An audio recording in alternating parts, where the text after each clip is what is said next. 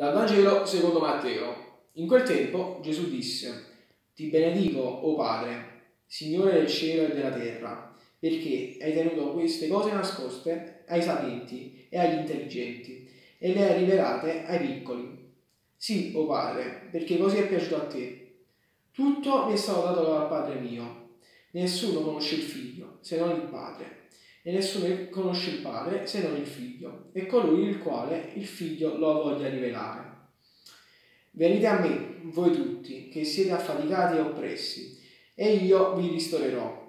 Prendete il mio gioco sopra di voi e imparate da me, che sono mite e umile di cuore, e troverete ristoro per le vostre anime.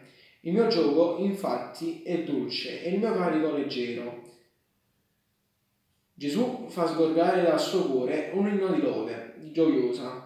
Si rivolge a Dio con una confidenza unica. Lo chiama Padre, perché questo nome sono racchiusi per Gesù la tenerezza, l'amore e la misericordia.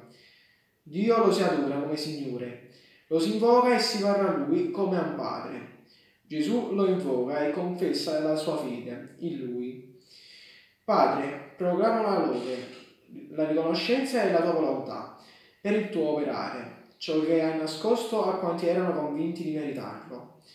Lo hai rivelato invece ai più piccoli, che non vantavano alcun merito. Gesù non condanna i saggi e gli intellettuali di questo mondo. Egli si rivolge a costoro, ma essi non accolgono la sua parola e così facendo induriscono orecchi e cuori e non sono capaci di aprirsi alla buona notizia del Vangelo.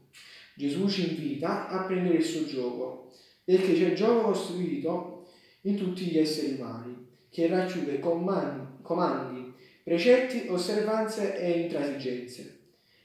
E c'è il gioco di Gesù, che è accoglienza dell'amore, della misericordia di Dio, dell'amore dei fratelli e delle sorelle. Il gioco di Gesù non è senza fatiche, ma è faticare per amore e per ricevere amore. Solo i piccoli però capiscono questa rivelazione